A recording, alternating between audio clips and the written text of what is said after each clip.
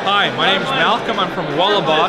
Walabot is a new kind of 3D imaging sensor. It basically is intended to give DIYers almost Superman vision to see through walls, detect pipes, wires, studs, even movement like rodents or termites in your wall.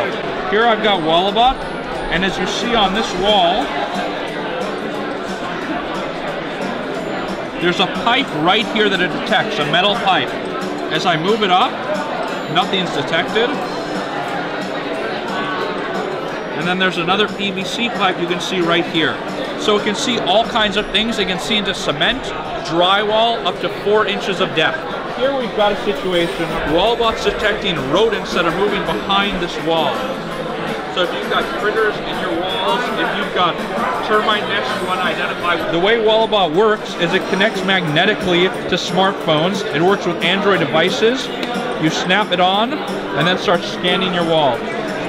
Walabot is available now. Normally it's 249, but for the holiday it's 199.